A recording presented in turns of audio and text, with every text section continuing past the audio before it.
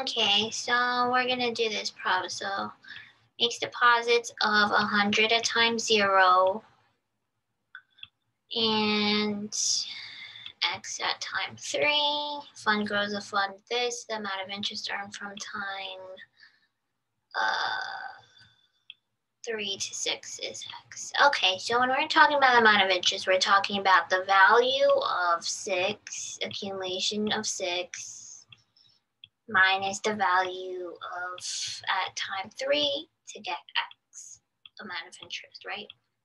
So how would we solve for the amount of interest of x? Well, we would have to set up two equations with the aid of the initial deposit of 100. So not only do we apply this uh, measure to x, but we also apply this measure to 100 as well. So we would find the accumulation factor of 100 uh, at time 3 by setting up an integral of 100 e to the 0, 3 uh, t squared over 100 dt. Another one is that we would have to find it at 6 as well. So 0 to 6 as well. And um, we would have to subtract both values to find the interest earned for around this period.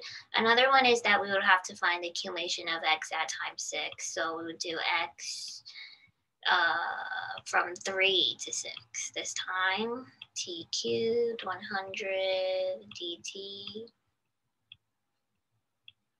right?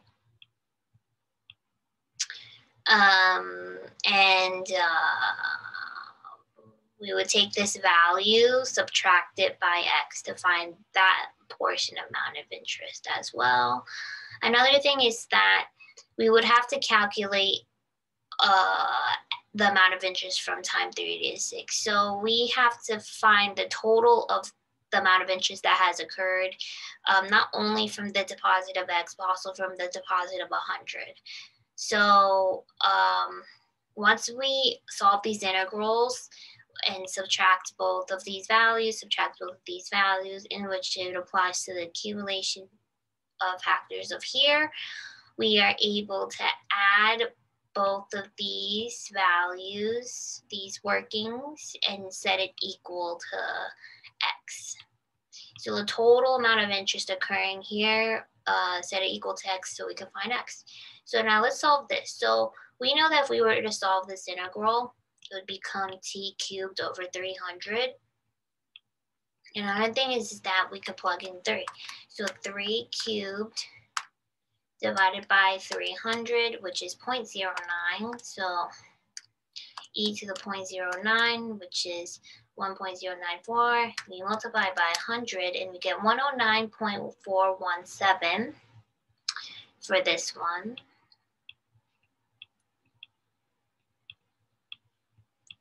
Another one is that accumulation at 6. So we just did this one. So accumulation at, so we'll just do 6 cubed divided by 100, uh, 2.16, e to the 2.16, 8.67 times 100. Uh, 6 cubed divided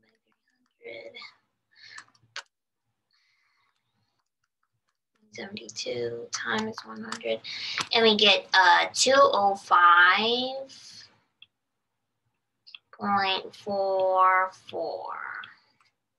Okay, now we found both of these values. Let's subtract both of them. So 205.44 minus 109.417. And we get 96. 0.026. Okay, so we have this part of the equation solved. Now we do plus, let's find the this notion for um, x. So we plug in the 6 cubed again, divided by 300, which is 0 0.72. 0 0.72, we plug in 3 for this again.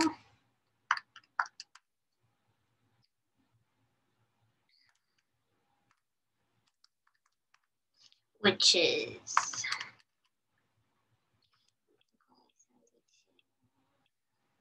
then very cute.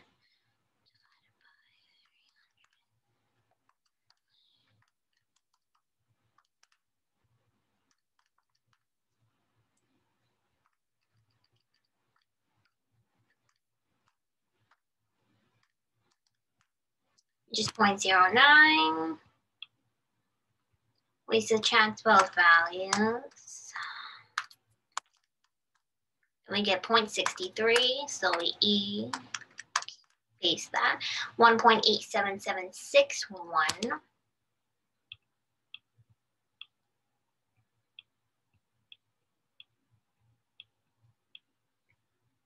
One x minus x, so minus one.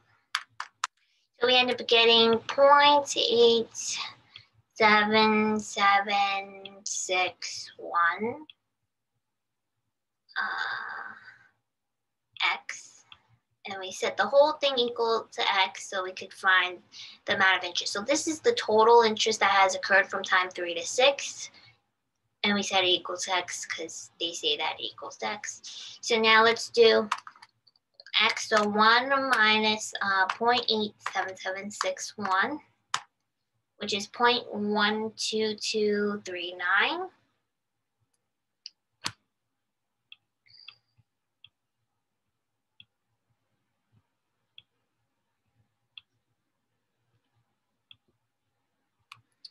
And then we do uh, 96.026 divided by 0.12239.